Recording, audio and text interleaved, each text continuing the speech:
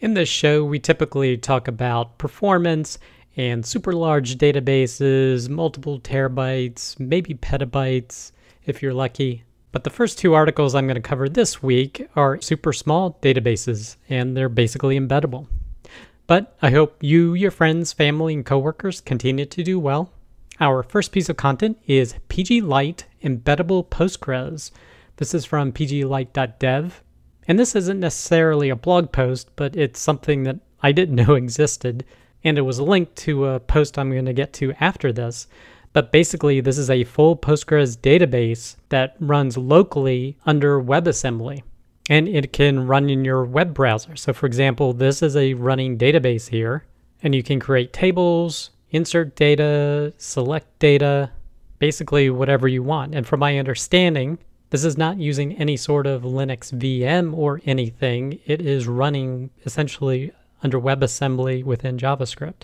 And the database is 3 megabytes gzipped. It has support for some extensions such as pgvector and PostGIS. And it says it can do some data loading and synchronization. So looking at the about, this is basically an ephemeral in-memory database, but you can persist it either to the file system using Node or Bun or to the IndexedDB, which is a storage system within the browser. And this is being developed by uh, Electric SQL. And what's super interesting about it is actually the next blog post, which is postgres.new in browser Postgres with an AI interface. This is from supabase.com. And they basically took PG Lite and merged it with an AI LLM, basically a GPT 4o. And then they added some features such as a drag and drop CSV import, allow you to be able to generate and export reports, to generate charts, or to build database diagrams. And they actually give the LLM control so it can actually run database commands within this local database.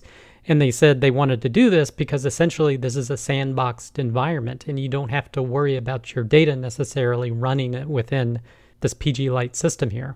And they're thinking of scenarios where, because this is a small sandbox environment, you could basically spin up as many of these databases as you want to do particular type of work. Another name they're calling them is uh, extremely cheap databases. So basically, they go into more depth about what I just discussed. Basically, they set up an AI assistant that is using GPT 4o for you to interact with. You can ask it to create tables for you or, or to generate data. They do have the ability to import and export CSVs, which would just create a table for you on the fly to be able to import the data into it. It can generate charts as shown here and even generate ER diagrams or migrations for schemas that you maybe want to set up. And it can actually build those schemas within the database to validate that it's kind of what you want. And because it supports the pgvector extension, like I mentioned in the previous blog post, they've actually built some additional tools where you can actually ask the AI assistant to say, hey, generate embeddings for five famous movie quotes and it actually stores those within a dedicated table in this local database, meta embeddings, and gives you a reference or an ID back to that embedding that you can then use in the future.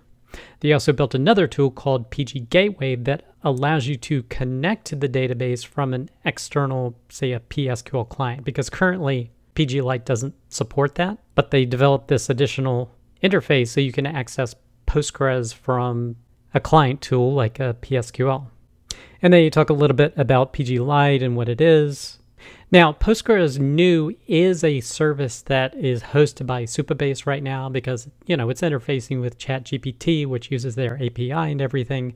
However, everything that they kind of use to put it together are open source libraries that others have used or they've built themselves. So you have the PG Lite embeddable database, which is open source. You have the PG Gateway for server side access to it, the Postgres New, which is the front end for Postgres New, and then transformers.js, which allows you to generate embeddings right within the Postgres running in your browser.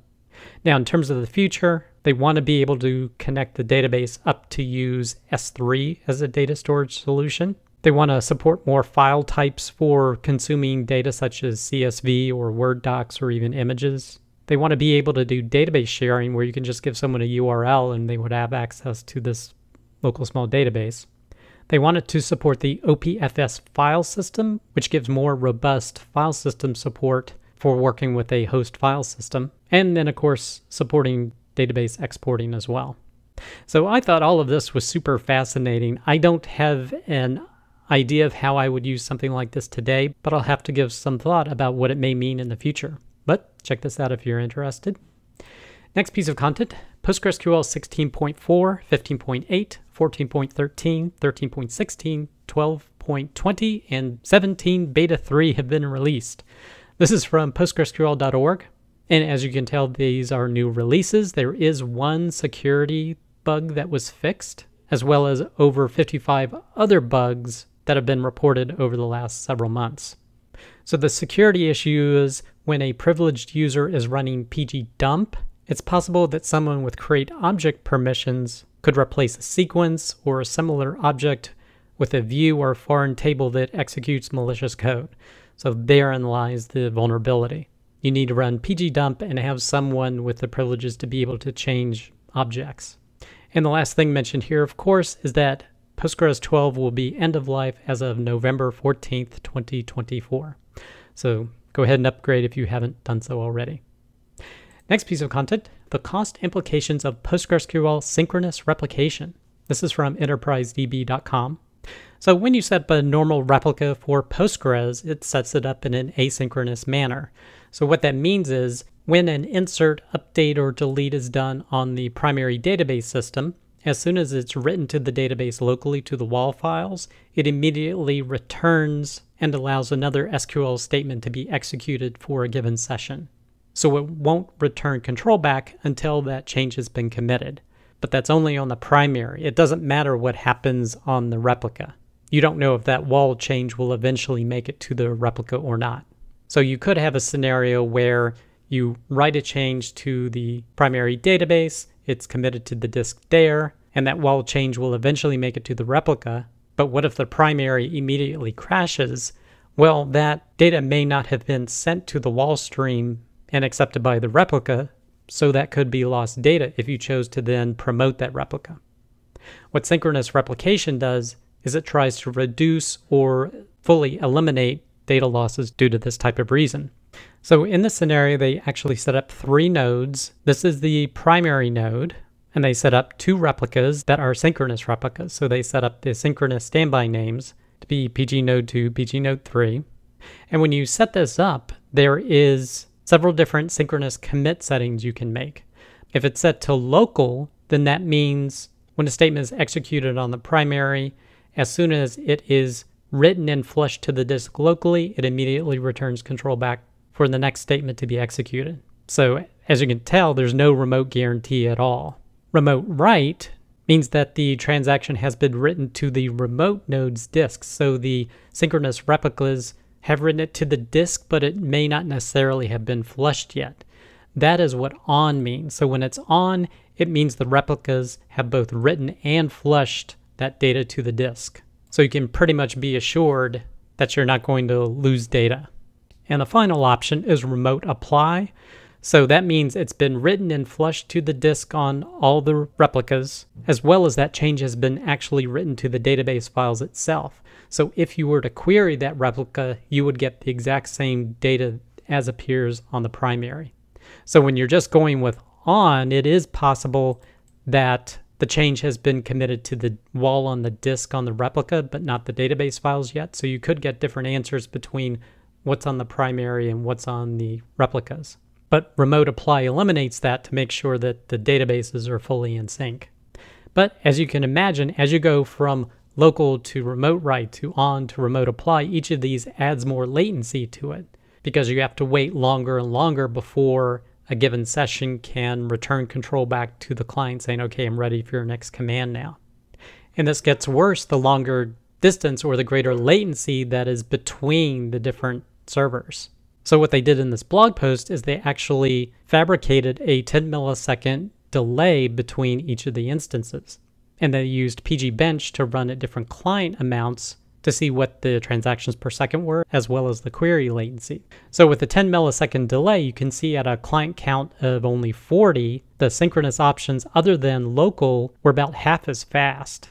So that's a significant price to pay. However, as your number of clients increase, you can see the advantage quickly diminishes. Now, their thought as to why this happens is because there's probably more work for the CPUs to do with a higher number of clients, where they just have to wait around at this low client count here. But really, you can see that the ceiling of the system is around the 4,500 transactions per second. Local hits that rather quickly, whereas it just takes a bit longer for the other synchronous methods to be able to hit that ceiling. And consistently, as you can tell, the one where you have to wait all the way until the changes are written to the actual database files, the remote apply, that's the worst performing out of the different options. Whereas remote write and on, there really wasn't much of a difference. And the same thing with query latency. Again, the lowest latency is with local. The highest latency is with remote apply, with the other options basically in the middle. Now, when they drop the network delay to three milliseconds, you could see things get a lot tighter, like there's hardly any difference between remote apply and on now. And even the local, it's only higher at the 40 client count. At the 80 client count, there's hardly any difference between it and remote apply. It's probably statistically insignificant. And the query latencies are super tight. So basically, what I gather from this is that if you're going to use synchronous replication, you need to have the replicas as close as possible together or having the least amount of network latency between them. So they should be in the same data center or even in the same availability zone to minimize performance impacts.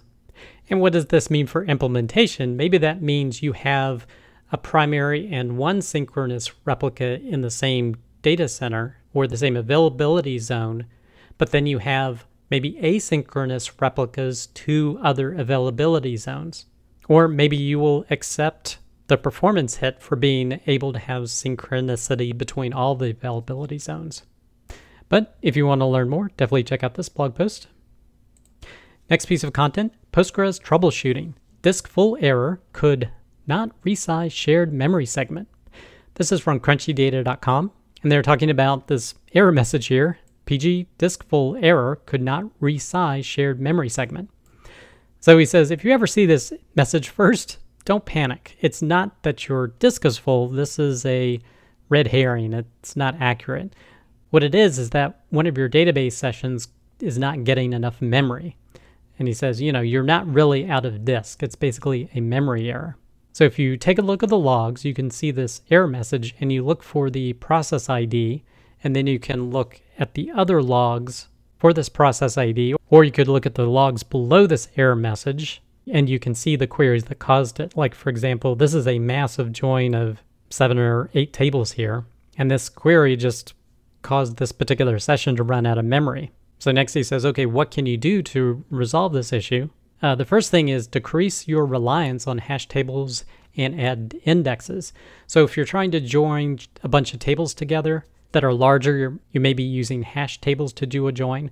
Well, ideally, you would want to put primary and foreign keys on those databases to have more efficient joins. The other option is to decrease the amount of work memory that's being used for these. Another option is decrease the number of max parallel workers you have. Again, just trying to reduce the memory pressure you're putting on the system. And then lastly, dig into the queries. Is there a way to make them more efficient? Are you pulling too much data? And lastly, of course, you could always add more memory to your system. So rather than making things more efficient, just give the system more memory. But if you want to learn more, definitely check out this blog post. Next piece of content, there was another episode of Postgres FM last week. This one was on index-only scans.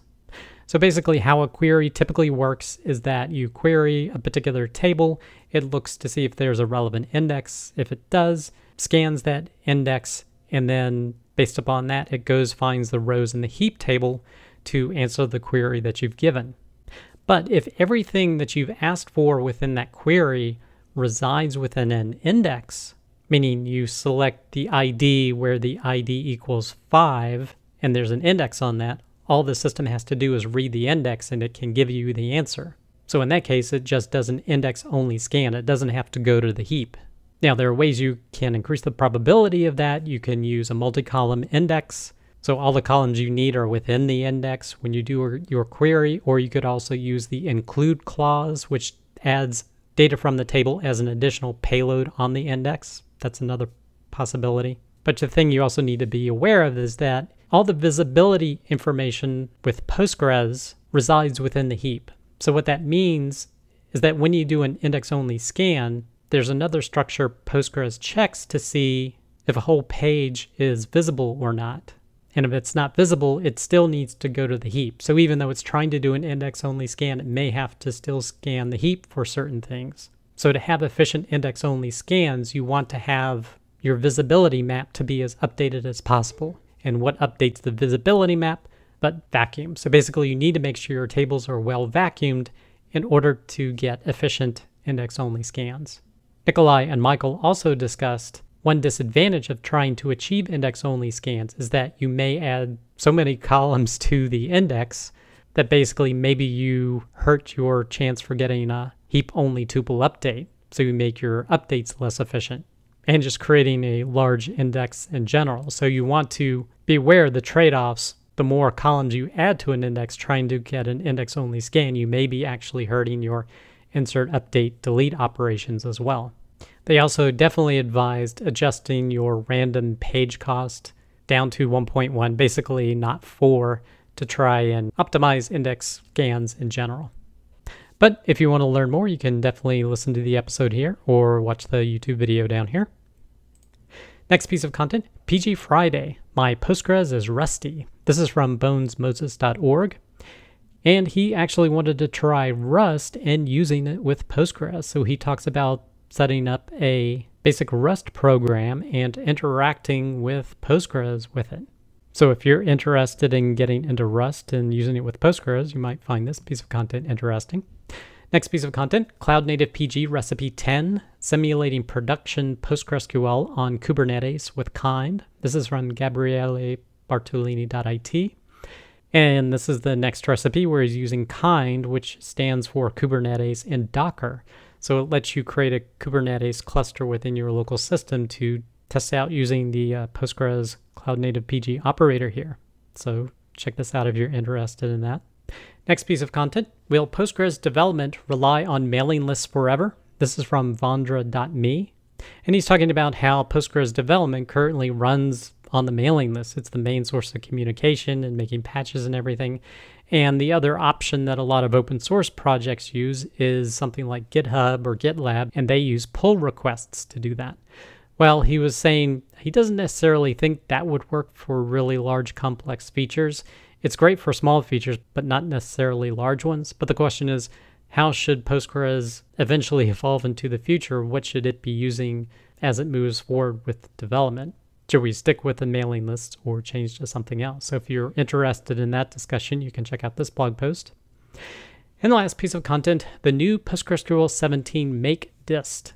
This is from peter.eisentraut.org.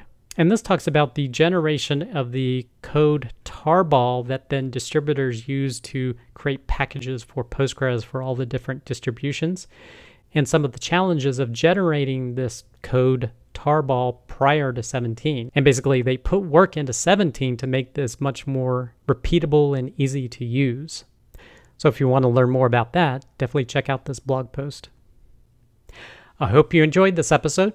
Be sure to check out scalingpostgres.com where you can find links for all the content mentioned, as well as sign up to receive weekly notifications of each episode.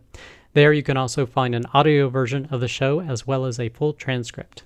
Thanks, and I'll see you next week.